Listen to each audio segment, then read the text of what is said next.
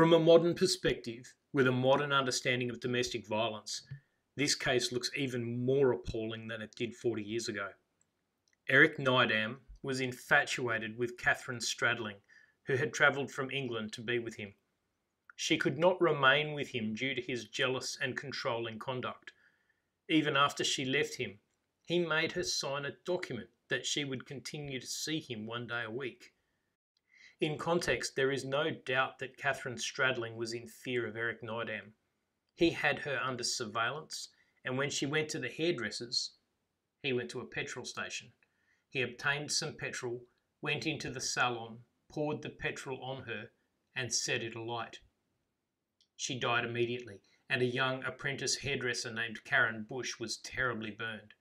She died a few days later. A key dispute at trial was whether he had intended to kill or grievously harm Ms. Stradling.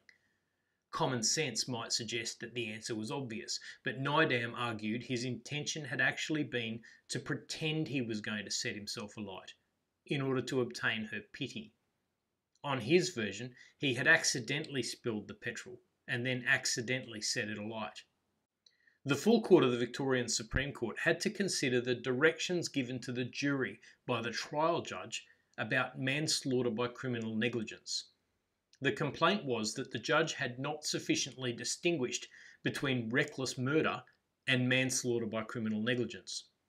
For murder by recklessness, one must know that death or grievous bodily harm are likely outcomes of conduct, and yet continue to run the risk. For manslaughter by criminal negligence, the test is different. The full court said, in order to establish manslaughter by criminal negligence, it is sufficient if the prosecution shows that the act which caused the death was done by the accused consciously and voluntarily, without any intention of causing death or grievous bodily harm, but in circumstances which involved such a great falling short of the standard of care which a reasonable man would have exercised and which involved such a high risk that death or grievous bodily harm would follow, that the doing of the act merited criminal punishment. This has become our standard test for criminal negligence, not just for homicide, but across our entire criminal law.